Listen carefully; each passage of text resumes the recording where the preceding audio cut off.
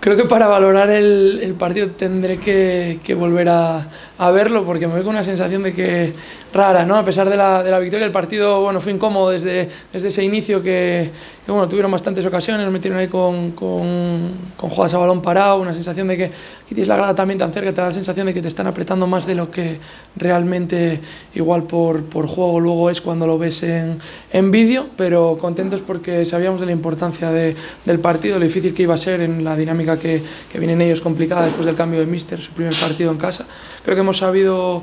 dominar los tiempos del partido, sufrir cuando nos ha tocado sufrir, creo que hemos sido muy maduros para, para llevar el partido y al final hemos tenido premio por el, por el acierto otra vez de los de arriba que nos están dando muchísimo. Nacho, eh, ¿te sorprendió, sorprendió el equipo la, la, fuerza con la que entró el Burgos al partido? Bueno, nos sorprendió porque nos lo, nos lo imaginábamos, nos había puesto sobre aviso el míster, sabemos un poco final, sabes, los equipos cuando cambian de entrenador, cuando vienen en una dinámica negativa, pues en casa se intentan hacer fuertes, sabemos de la importancia de pasar esos primeros momentos de enfriar un poco el partido al, al principio, de, salir sin muchos daños mayores, al final Rubén con, con dos paradas de mucho mérito nos, nos echó una, una, mano importante ahí y luego, bueno, pues hemos sabido también aprovechar nuestros, nuestros momentos para, para hacerles daño. ¿Y ahora qué mensaje se lanza con, con, la victoria? El equipo está en la situación en la que está. ¿Se puede decir ya que el Sporting es un candidato? Bueno, yo al final llevo diciéndolo desde,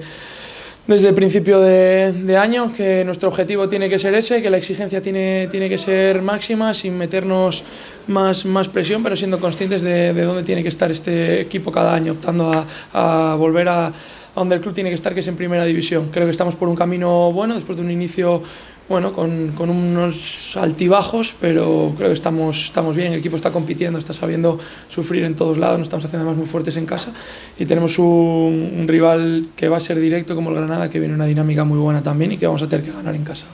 Nacho, usted, la victoria también supone un golpe a la mesa, es un campo que históricamente al equipo no, no se le daba bien, al club no se le daba bien. Eh, y también por la dificultad que también es ganar en el plantío, que es uno de los estadios más difíciles también de conquistar para los rivales, ¿no? Sí, ellos desde que han vuelto a Segunda División se están haciendo muy fuertes en, en casa todos los años, ya te digo, el campo, la sensación de que pasan muchas cosas, la gente aprieta, aprieta, aprieta mucho y no es, y no es sencillo de, jugar, no sé qué pila de años llevábamos sin, sin ganar aquí, bueno, yo no había ganado desde, desde las veces que vine aquí con con el Sporting. Y nada, felices de conseguir tres puntos después de Albacete y Elche que lo habíamos tenido cerquita pero se nos habían escapado y a volver a hacer, seguir haciéndonos fuertes en casa. ¿Qué Molinón esperas el sábado? Antes hacías mención al partido contra el Granada. ¿Qué ambiente esperas para el partido? Bueno, creo que es un partido grande de la categoría. Creo que la gente va a estar con nosotros. Es un horario bueno también para ellos. El sábado creo que se va a ver un ambiente, pues ya te digo, no muy diferente al que estamos viviendo cada fin de semana en el Molinón, que es una gozada disfrutarlo